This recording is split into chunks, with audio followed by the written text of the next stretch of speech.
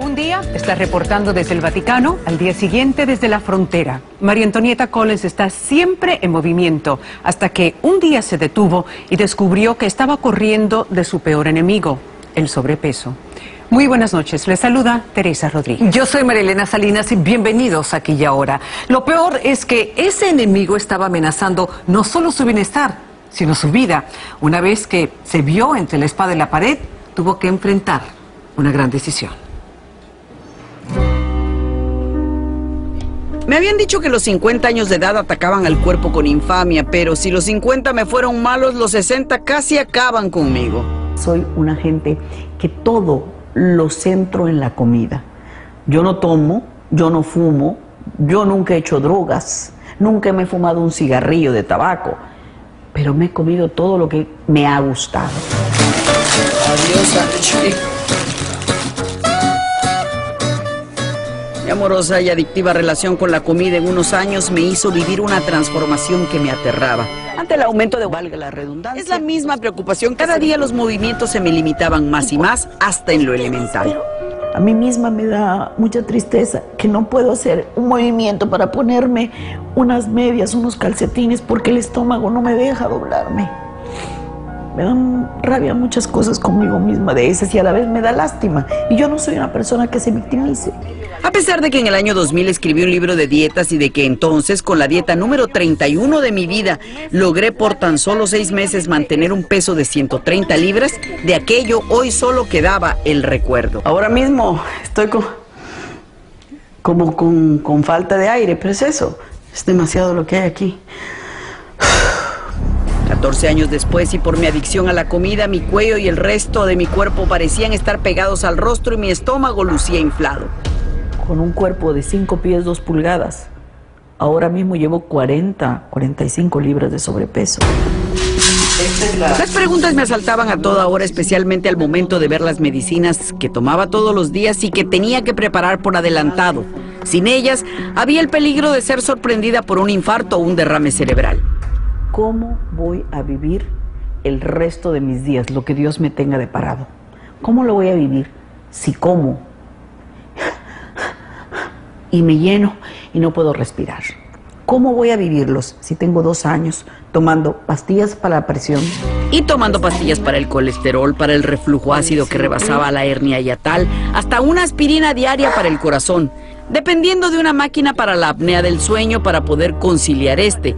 Todo me atormentaba, aunque lo peor era enfrentarme cada mañana a la realidad de un espejo.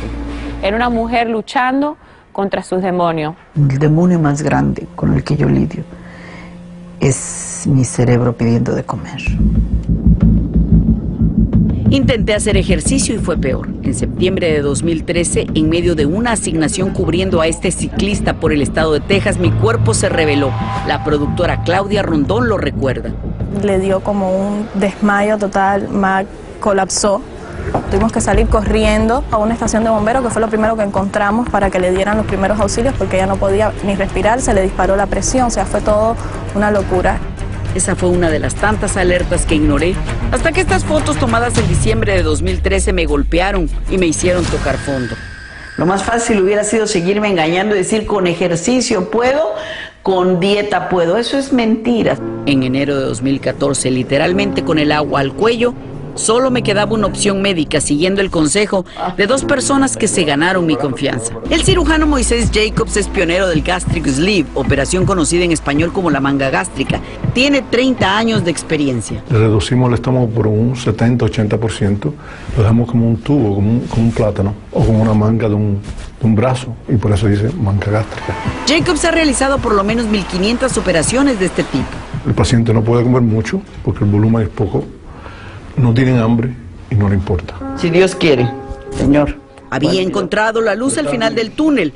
Tomar la gran decisión de mi vida fue solo cuestión de minutos. Me haría esa operación. Mi primera meta es dejar las pastillas para el colesterol, dejar las pastillas de la presión, eh, tener una mejor vida, yo no estar tomando tanta pastilla. Como sucede con millones de víctimas de la obesidad, lo difícil fue tratar de utilizar el seguro de salud. A pesar de todas mis condiciones médicas y del reciente diagnóstico de prediabetes, no cubrirían la operación porque requerían de por lo menos 200 libras en mi cuerpo para pagarle y yo pesaba 178. Y no voy a esperar, no voy a esperar a que un seguro diga que yo necesito tener 20 libras más. ¿Por qué voy a envenenar mi cuerpo con 20 libras más? Prefiero hacer el sacrificio mío y ya. Ellos deben pagar, esta- pagar esto para prevenir, no para tratar. Un deseo no cambia nada. Es la decisión de lograr las cosas la que puede hacer la diferencia.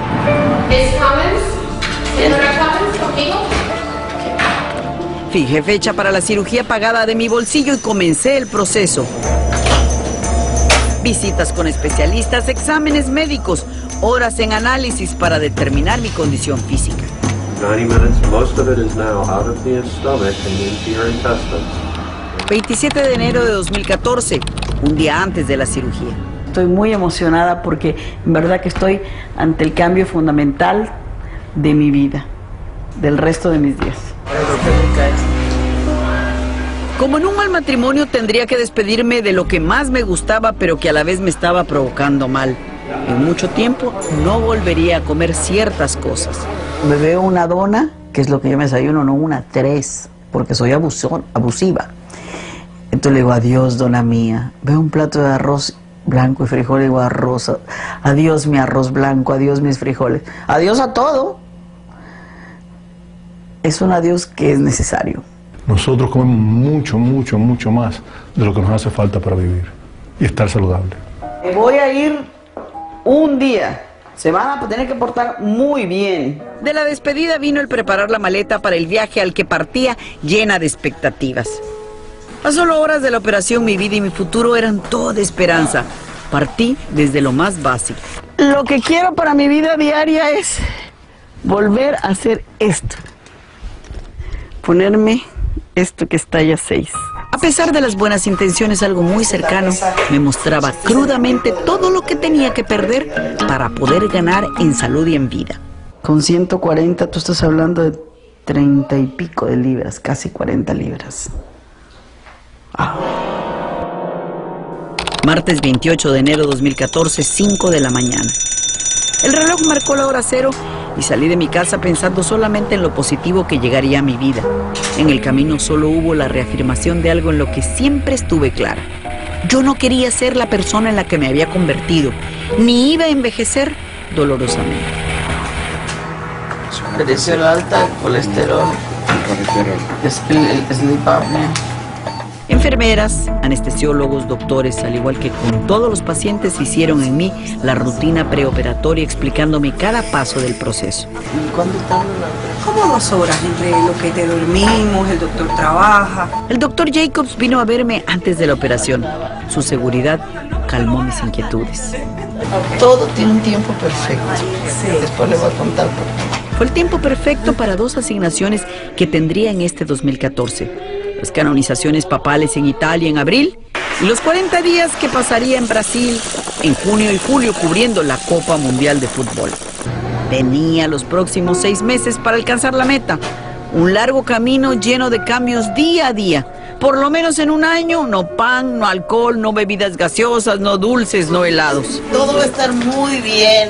Todo no puede haber, esto es un party. Yo creo que es la tarea más importante.